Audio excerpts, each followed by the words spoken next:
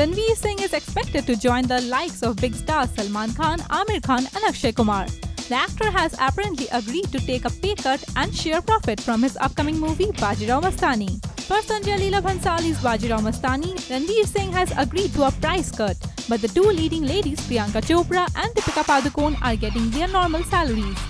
With a staggering budget of almost 100 crores, will Bajirao Mastani be able to repeat the success of Ram Leela which collected approx rupees 200 crore and more worldwide?